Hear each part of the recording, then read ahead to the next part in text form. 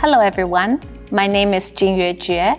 I'm the Asia Head of Investment Specialist for the Asset Management Solutions with JP Morgan Asset Management. Today, I'm here with StashAway to really trying to answer some of the biggest questions around fixed income investing. The first question is, how does fixed income contribute in a well-balanced investment portfolio? Now, when we look at fixed income, it plays a very crucial role in a well-balanced portfolio for a number of reasons. The income generated from fixed income instruments are often more attractive than pure cash deposit. But on the other hand, when you look at the volatility profile, it tends to be lower than equity and hence provides a bit of capital preservation, especially during time of market turbulence.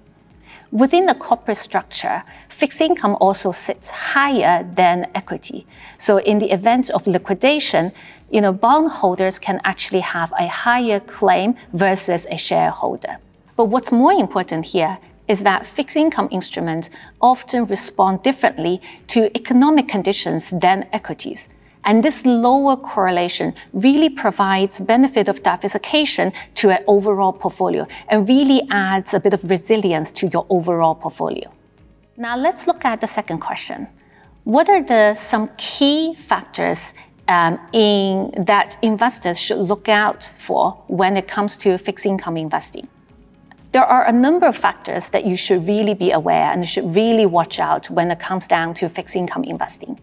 The first one is maturity, which is the date when the bonds will mature and your principal will be paid back to you. And the second one is the coupon, which is the interest rate that you're receiving from the bonds, and that is often paid semi annually or annually. And then the third one is credit rating, i.e., the credit quality of the bonds, which is essentially the likelihood that the bond issuers will honor its financial obligation.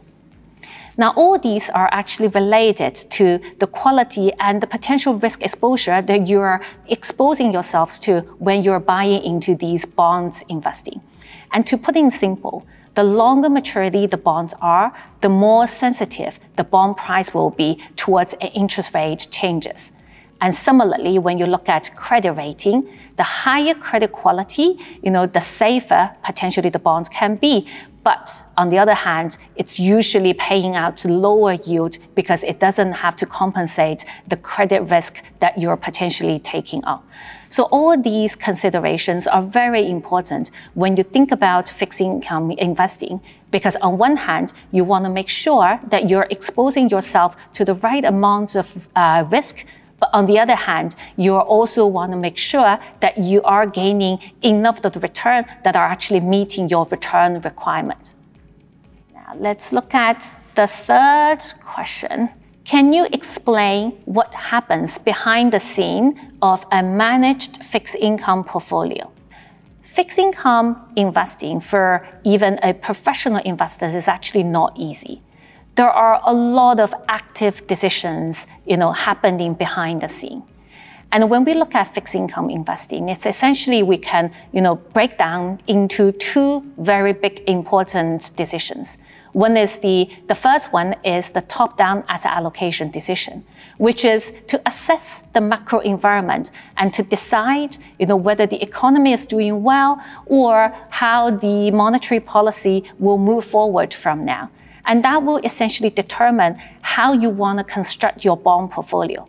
You know, how much duration, which is interest rate sensitivity you want to have with your portfolio, how much credit risk you want to have, you know, the list can go on.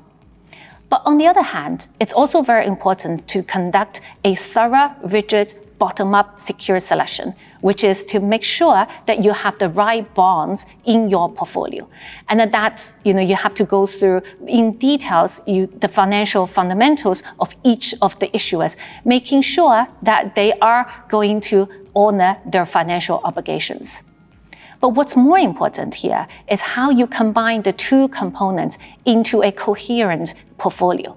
And that's where a portfolio manager actually comes in you know, they're acting like a conductor for a symphony orchestra, really to make sure that each parts are played perfectly, but then each parts are being coordinated, you know, in a very harmonious way. But there are other functions You know, that's the valuation, that's the performance monitoring, that's the guidelines monitoring. All these functions are equally important to make sure this performance is really achieving its success. The next question How do you balance yield enhancement with risk management in JP Morgan's strategy?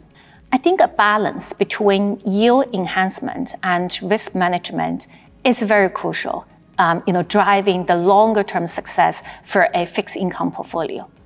You know, the way we approach this is to really focus on you know, all the yield opportunities from a risk adjusted lens.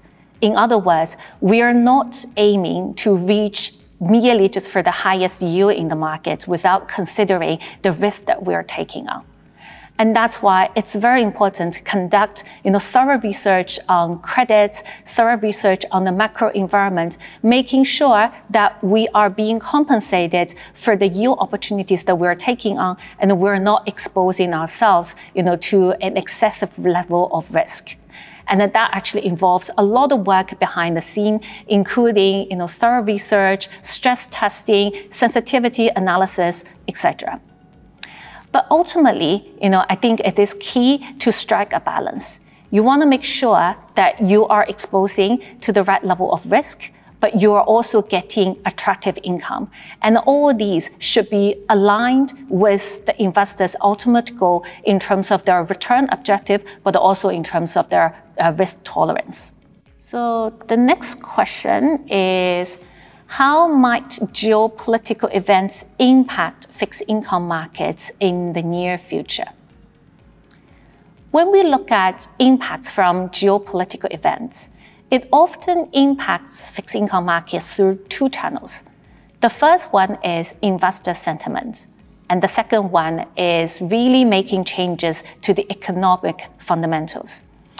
We look at the first one, i.e., the investor sentiment, geopolitical events can really trigger market volatility and cause a flight to safety assets. And that's generally positive for treasury bonds, which are considered as the safer assets in the market. So yields will come down and the price will go up because there's always a inverse relationship between the two. But that impact is often short term and when we look at the longer term implication, it really comes down to whether that geopolitical events will cause any changes in the fundamentals.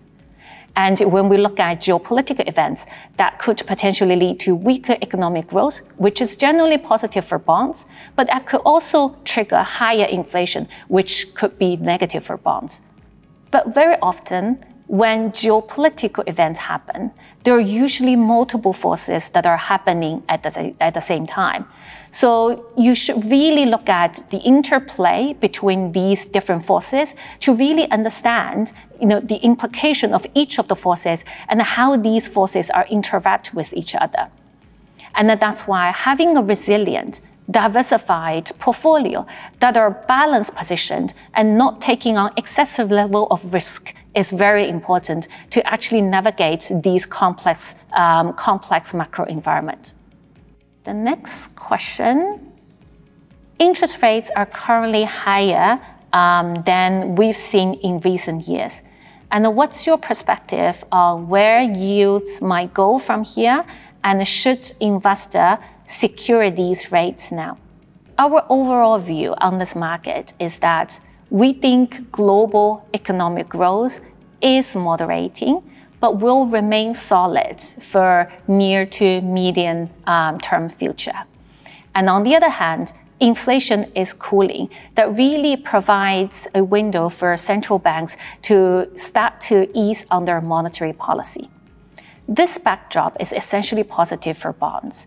So over medium term, we are of the view that duration or bonds in general will have a positive backdrop. But on the other hand, when we look at yield level now, yields compared to history are at a quite high level, which means from a valuation perspective, bonds are relatively cheap not just on a standalone basis, but also compared to where the equities are trading. So that's why we think that right now is actually a interesting opportunity for investors to start to consider bonds. But when you think about you know, starting a portfolio of fixed income investing at this moment, we also think that investors should be mindful of the market volatility because bonds volatility you know, has been really increasing over the recent past. That's why approaching a fixed income at this moment, even though the timing is attractive, really requires a bit of cautious approach i.e., you should approach fixed income with a diversified approach, not to concentrate too much on one segment, but rather to think about a balanced approach with a diversified exposure that will provide a more smooth ride uh, going forward. The next question is What's a common misconception about fixed income investing that you'd like to clear up? I think when investors looking at the name fixed income, they think of fixed, which means stable, safe. But that's not true. Fixed income investing come with a variety of risks still. Even though they're less volatile than equity, there's still some potential risk that you should be aware of, which includes interest rates risk, um, includes um, um, credit risk, and also liquidity risk. And the, the list actually goes on. That's why risk management is at the core of having a successful fixed income portfolio. And managing the risk properly is not only helping you to mitigate the downside risk, but it can also potentially becoming a alpha source, which helps you to achieve additional total return above coupon. And that's why risk management, thinking about risk when getting into fixed income is very important. The next question if you could give one piece of advice to a new investor, uh, what would it be? So remember, fixed income are like cats. Sometimes they sit there and do nothing for a long time, but sometimes they all of a sudden act out of unexpected way. So that's why with fixed income, you should be patient, be disciplined, be always mindful of the potential risk, do not reach out only for the highest yield without considering the risk, but at the same time, be nimble and flexible. With that, I wish you all have a successful journey with your fixed income investment.